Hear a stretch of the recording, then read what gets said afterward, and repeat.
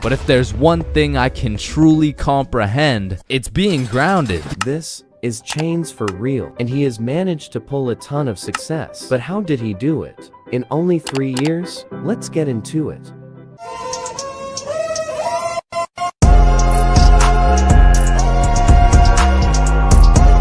On July 16, 2022, Chains would create his YouTube channel, but only three days later, he published a video titled The Three Levels of Being High. His video did well, but here are the pros and cons about the video. And I'm not the most experienced smoker, but I generally have three stages of being high.